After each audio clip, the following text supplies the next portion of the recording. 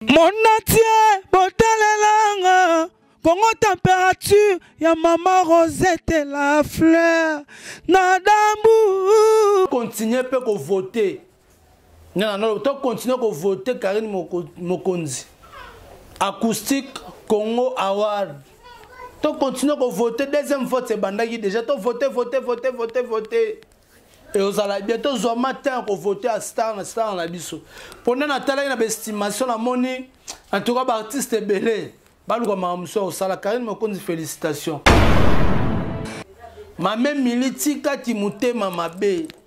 tika kimotema mabe efutaka te efutaka te karine mokonzi e fali e plutôt karine mokonzi e feregola bato bao pese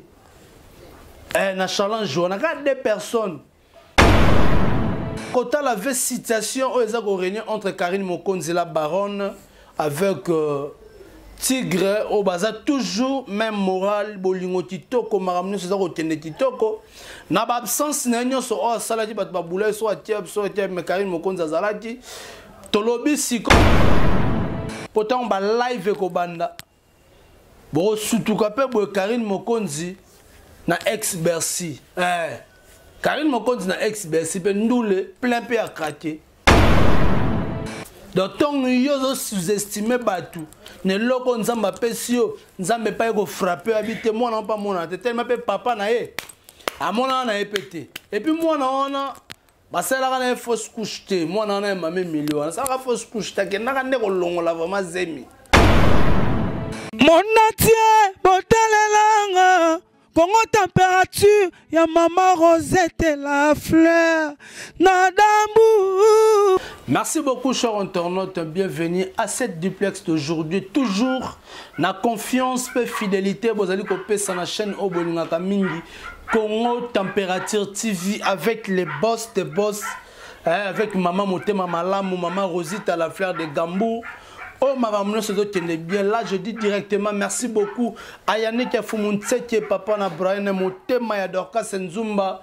maman na Brian na Brianna je dis encore merci à Sandra Wangata maman na petit bon junior pourquoi pas mon président Bruno Lubika mbongo propre là directement je vois Patrick Kituta na kati États-Unis euh, Patrick Kituta euh, na kati États-Unis de la part euh, ya Natacha Kanyonga même morale toujours balobi Nicolas Kanyonga na kati Belgique Patrick Kituta Même morale toujours. Natacha Kanyonga, même morale toujours. Je dis encore merci. Na ba nyonso balingaka biso bana membre ba charge ba chinois le défenseur de Karine Mokonzi ba chinois ya Karine Mokonzi ba maman autorité aya balobi papa Matondo on est toujours ensemble si aujourd'hui moi héritier ibula je suis là pourquoi parce que toyoki clash ebimi moto epeli ya makasi tokobetaka betaka masolo ya karine mokonzi tokolembaka lembaka te bato bamoni mama na biso na la chine kuna mama présidente bamoni papa na biso tigre foto moko baposte oyo na page ya karine mokonzi bato bapense que non photo wana oyo ezalaki ya tigre ezalaki na dondi tigre na dondi or ezalaki nango dondi te ezalaki noko ya tigre tala place oyo bamama bazwi chimie bachinoise ya karine mokonzi la chine bazwi chimie mare akanisi ke baposte dondi na tigre mobala mwindu mobala solo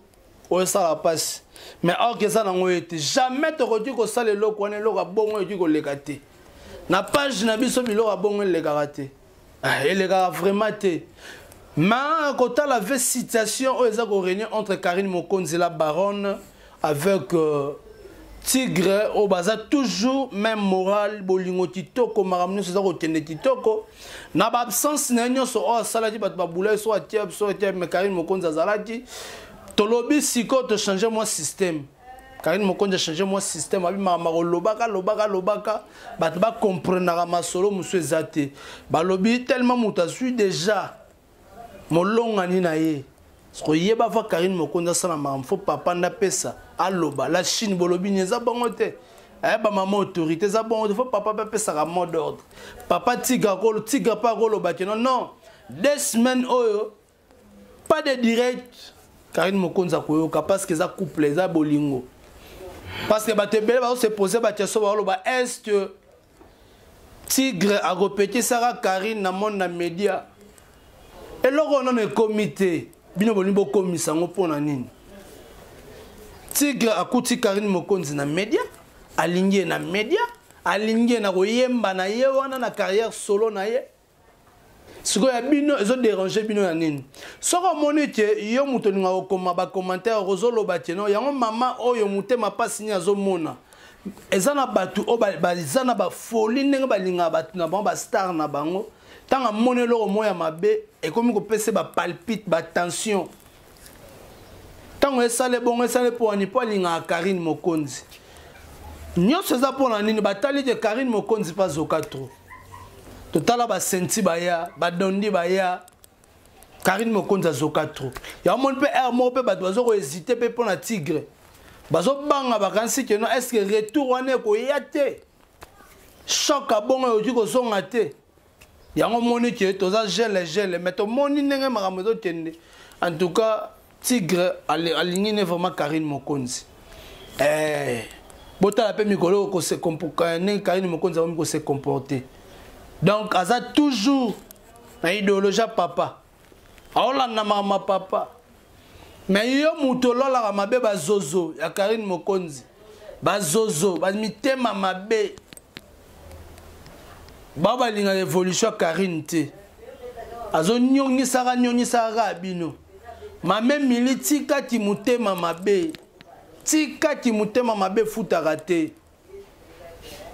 efutaka te soki lelo oyo tigre mariage na karine mokonzi parce que kala mingi te mariage religieux na karine mokonzi bakodoka na ndenge moke te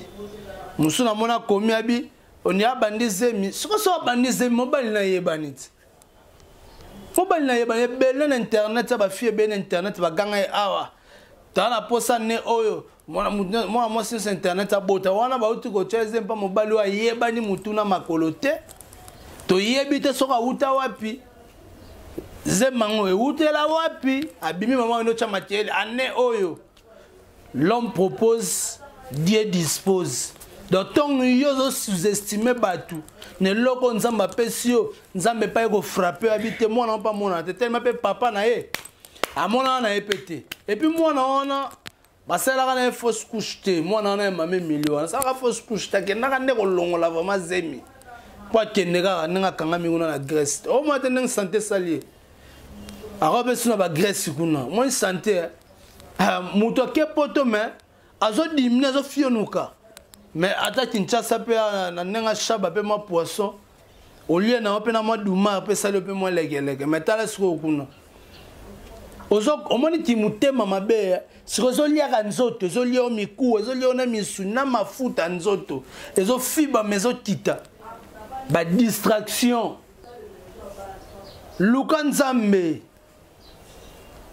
kosala makambo na defi te karine mokonzi te akoma mikili bongo asala defi na motu te mais ezalaki voyage na makambo azali yango na kinshasa amoni ke no moyen azonga esu eza te nakota kaka akota pampan lelo afandani stable aza kimia yango omoni bato ebele baréconciliation ezongi bamagali kongola baokozonga bafifi siwa baa na bango très à l'aise na karine mokonzi baosolola bien mais soki bato mosusu bakomi koleka koloba ba n'importe quoi mpo na karine là moi je suis désolé je suis tellement désolé biso toza na toza na objectif moko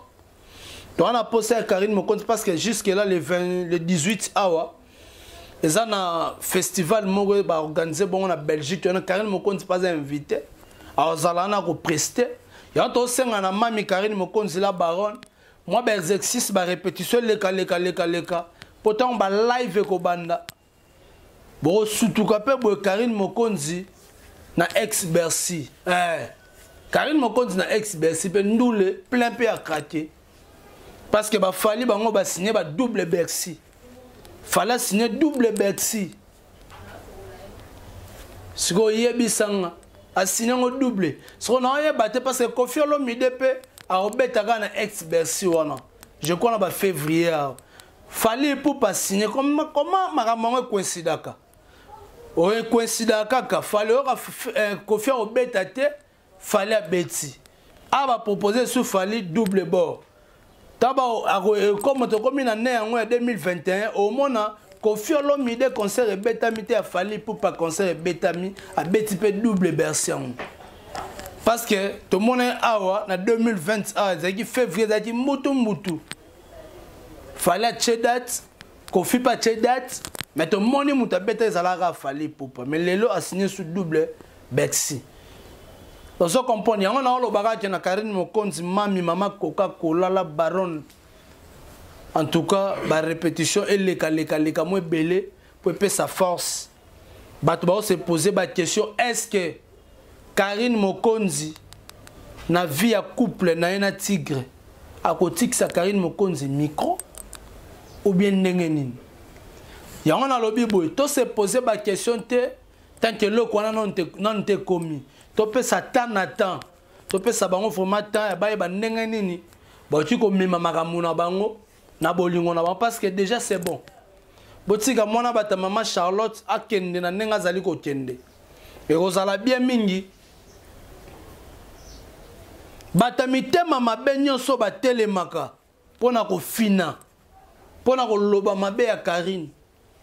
mais karine akipaka bango te bato nyonso baolala baolamuka bazopesaka toujours karine mokonzi baconseil mpo na couple na ye na, na tigre opesa baconseil yo mpe participe na baconseil so opesa conseil eyosala bien mais soki ozaka wana mpo na kotuka mpo na kofinga mpo na koluka mabe moko boye ya tigre oyo yanango na tele mpo na koluka eloko moko boye ya karine mokonzi oyo yanango na tele mais prends ton temps ya kopesa ndeko no conseil ya kopesa ndeko no conseil baguerre ebele karine mokonzi aleka nango awa bagrace temo babundisa batya karine mokonzi makelele ozwi bagel chaud ozwi banani lisusu bazalaki telema ebele banani baningisa karine mokonzi te mais jusqu'aujourd'hui nana okende bien bamosusu baya koloba na batelevizio amoni kokumba motuka na kinshasa nde ezala sikoyo kokumba motuka na poto ya neni eyala neni po explike ka biso ti bino toloba biloba eloba biloba bapolopolo balabalaba bofandaka na bino te kaka kolaba laba laba laba laba nakomba karine mokonzi mwana bata mama charlotte mwana mwasi oyo aza na bafani ebele nga nayesaka bino ke quelque chose se prépare le 18 le 18 oyo euh, le 18 août karine mokonzi bokozwa vraiment live osala bien to continuer mpe kovote nanano to continuer kovote karine mokonzi acoustique congo award to continuer kovote deuxième vote ebandaki déjà to vote vote vote vote vote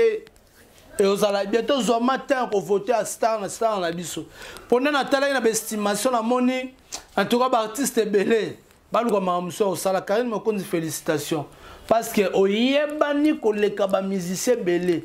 bamusicien ebele to namoni na papier wana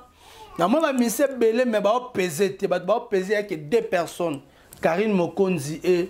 fali e plutôt karine mokonzi e feregola bato baopese eh, na challenge wana kaka deux personnes yango nalobe na bango te no bokeba tokozwa batrofe ebele bapese te kotala na ndenge bato baza kovote na balantere me tala fere gola tala karine mokonzi ndenge aza kokende bosakanaka yango naloba tokontinue kovote numero 5 deuxième tour yango wana ekotaki deja tovote karine mokonzi la baronne baorganisateur nyonso ya acoustique congo award en tout cas ngai da nalobaki révélation de l'année c'est karine mokonzi nalobaki yango déjà meilleur clip nalobaki lisusu nini keba na ndenge système tokoki korafle mpe trophée ya meilleure chanteuse donc yango wana ndenge naozela yango asengai na bato nyonso bavote karine mokonzi ba Isaac Monganga papa na Benel bo voter Karine Mokonzi ba Pierrot Bomaye ba Mister Makasi na kata Chine Mister Makasi na kata Chine bo voter ye bo voter Karine Mokonzi Patrick Kituta na kata États-Unis bo voter Karine Mokonzi ba Nicolas Kanyonga na kata Belgique bo voter Karine Mokonzi ekozala bien mingi ekosala bien par rapport ya makambo ndenge aza kokende mami karine mokonzi puissance na ndenge ya mokie te bato ebele bakomi koluka koreconcilie na karine mokonzi tala avenir ya mwana mwasi oyo kala mingi te azolata lopete lopete olatisa na mosapi biju tekanga ngo donc azolata lopete kala mingi te karine mokonzi je dis merci na baye nyonso balingaka héritier ibula je dis merci beaucoup na mama rosita la fleur de gambour na confiance oyo ozali kopesa biso donc euh, na kati ya chaîne au congo température je dis encore merci à beckham chibuyi Beckham Chibuyi, euh, Hervé Bossitampen, euh, Beckham Chibuyi. Merci beaucoup à Patrick Kituta, dans les États-Unis, pourquoi pas à Nicolas Kanyonga, dans la Belgique, je te salue. Je dis merci à Yannick Afumunseke, papa na Brian, na Briana, Motema Dorka Senzumba, Dali Iboula, maman Mokonzi. Je dis merci à Sandra Wangata, maman na Petit Bon Junior, pourquoi pas à mon président Bruno Lubika Mbongo ya propre. Merci beaucoup à Natacha Kanyonga, merci à Hervé Bossitampen et Tolomo, pourquoi pas à Musée, Nassima ya caméra, Nena Lobaka souvent tomonani soki nzambe azongi nanu te play monatie botalelanga kongo temperature ya mama rosete la fleur na dambu